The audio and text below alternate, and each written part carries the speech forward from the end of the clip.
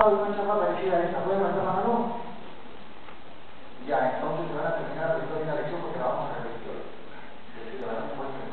Otra, otra cosa que quiero saber, eh, ¿dónde, levanten la mano los profesores, por favor. ¿Hay profesores? Un montón. Perfecto. Y ahora, los que no son profesores, vamos a aplaudir a los profesores porque siempre hay que estimular a los maestros.